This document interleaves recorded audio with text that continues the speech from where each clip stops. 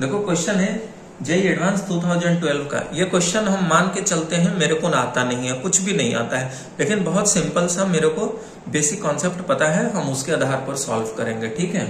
तो ये देखो क्वेश्चन है the locus of the mid point of the chord of contact of tangents drawn from points lying on the straight line 4x minus five y is equal to twenty to the circle x square plus y square is equal to nine देखो diagram बनाते हैं।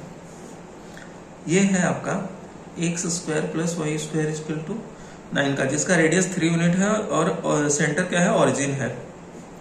अब आप देखो इस line से हमें tangent draw करना है। Four x minus five y is equal to twenty तो एक पर्टिकुलर पॉइंट मान लेते हैं जो कि हम हॉरिजॉन्टल एक्स एक्सिस पर मानेंगे। तो वाई कोऑर्डिनेट ज़ीरो हो जाएगा तो एक्स कोऑर्डिनेट कितना आ जाएगा? जो वाई इजकल टू ज़ीरो रखेंगे तो four x is equal to twenty तो x is equal to five आ जाएगा। ये ये लाइन पर ये पॉइंट एग्जिस्ट कर रहा है ना? भाई four x minus five is equal to twenty पे ये पॉइंट एग्जिस्ट कर रहा है, ठीक? अब यहाँ से टेंजेंट ड्रॉ करो, ठीक है? ये टेंजेंट हमने ड्रॉ किया, ठीक? ये टेंजेंट हमने ड्रॉ किया। अब अब क्या है?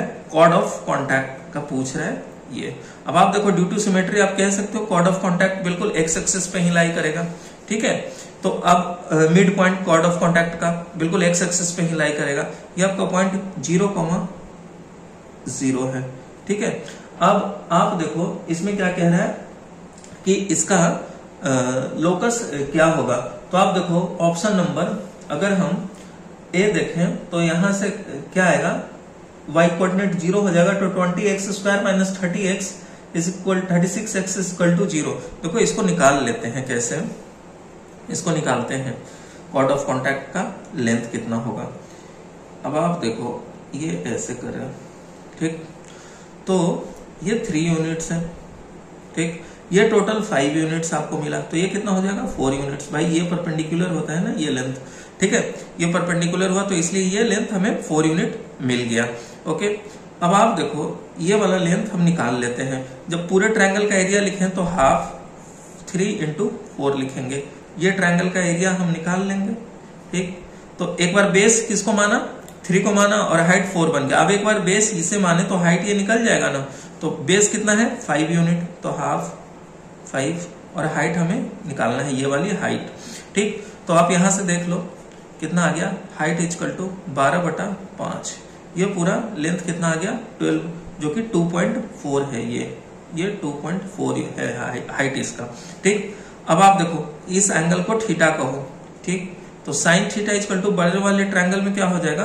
Perpendicular upon hypotenuse is equal to sorry tan theta लिख लो tan theta tan theta is equal to perpendicular upon base which is equal to perpendicular छोटे वाले ट्रायंगल में 2.4 अपॉन ये लेंथ बेस ठीक है? इसलिए क्या था कि हमको ये लेंथ चाहिए था तो ये 0.6 हो गया। तो b इजकल टू क्या हो गया? 1.8 इसका मतलब इसका कोऑर्डिनेट्स जो है हमारे पास क्या आ गया? 1.8 कॉमा ज़ीरो ठीक है?